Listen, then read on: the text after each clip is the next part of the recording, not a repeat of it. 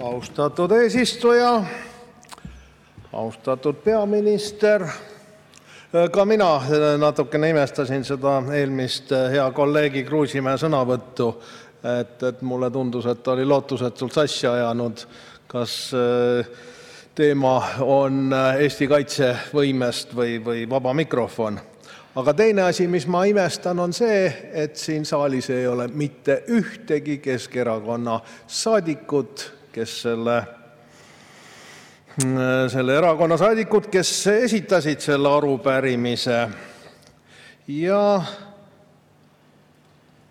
Kuna teema on riigikaitse, teema on meie julgeolek, siis võtan endale ka vaba voli mitte täpselt sellestsamast Inglise üksusest, sellest 700 mehest rääkida, vaid hoopistükkis natukene laiemalt. On teada-tuntud fakt, et meie reformierakondlik valitsus on riigikaitsesse läbi aastate, kõikide nende aegade, kui nad on võimul olnud, äärmiselt üleolevalt suhtunud, ei ole seda pidanud absoluutselt oluliseks. Kust tulevad siis need meie sõjaväeluure laialiajamised ja ajateenistuse kaotamise toetamised ja ka Kaitseliidu kaotamise toetamised ja kõik täiesti hämmastavad asjad. Ja siis eriti veel tänase kriisi taustal, kus need märgid sellest, et olukord läheb hulluks ja väga hulluks, olid juba varemgi õhus, aga sellele vaatamata tõrjuti meie arengukavadest ja igalt poolt kõik vajalikud võimete arendused. Põhjendus oli ju nii Reformierakonna kaitseministri kui ka meie peaministri poolt, keda ka sõjaprintsessiks lausa on kutsutud, et nemad toetuvad professionaalide arvamusele. Aga nagu aeg näitab ja kogemus näitab, need professionaalid on olnud allpool igasugust arvestust, kes oleks pidanud kohe oma koha pealt ära ajama, vahetama tõeliste professionaalidega. Aga selleks ei olnud visiooni, selleks ei olnud mitte mingisugust tahtmist ega soovi. Muidugi lükkame kõik asjad kuskile jumal teab kuhu tulevikku, lootes ma ei tea millist muinasjuttu. Kunagi oli üks seriaal, mille nimi oli "Homsed uudised". Selle taustal, mis ma siin rääkisin, mul tuli ka mõte, et äkki püüaks seda kuidagi kehtestada või kehastada siinsamas Riigikogu saalis. Sest meie sõjaprintsess ja meie valitsejanna, nagu me oleme kuulnud, soojendab põues marssalikepikest ja ihaldab NATO peasekretäri kõrget ametikohta. Vähemalt sellised jutud käivad igal pool ajakirjanduses ja püütakse sellist fooni luua. Meie ajakirjandus, uudishimulik nagu ikka, pöördus ka minu poole, et mida siis mina ja EKRE fraktsioon arvab sellest, kui NATO peasekretäriks saaks Kaja Kallas.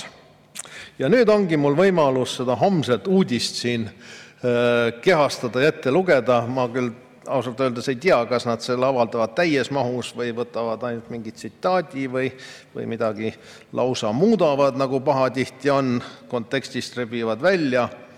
Aga see selleks, seda me näeme homme. Aga täna on mul võimalus veel siin, enne kui lehed trükki lähevad, teile, head inimesed, ette lugeda. Loomulikult oleks suurepärane uudis, kui NATO peasekretär tuleks Eestist või siis vähemalt Ida-Euroopast, sest sellist pretsedenti ei ole varem olnud. Tänases geopoliitilises vastasseisus Venemaaga omaks... Palun lisaaega. Kolm minutit lisaaega, palun! Omaks meie regioonist pärit kandidaat ilmselt juba ajaloolist tausta arvestades paremat arusaamist ja adekvaatsemat olukorrahinnangut kui teiste regioonide esindajad. Kas aga just Kaja Kallas oleks kõikidest kandidaatidest parim ja õige valik, on küsitav. Esiteks puuduvad tal teadmised militaarvaldkonnast ning ta ei ole suutnud Riigikogus esinedes jätta asjatundlikku muljet riigikaitse teemadel. Lisaks on ta tihti eksinud elementaarsetes küsimustes, omamata arusaamist, mis vahe on näiteks keskmaa õhutõrjel ja tankitõrjel.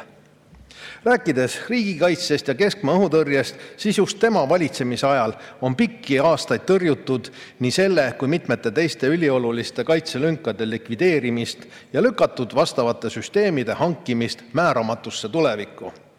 Alles eelmisel aastal tuli Reformierakonna valitsus Kaja Kallase juhtimisel välja ettepanekuga vähendada planeeritud kaitsekulutuste tõusu, kuigi kõik märgid näitasid, et tegutseda tuleb kiiresti ja hoopiski vastupidises suunas.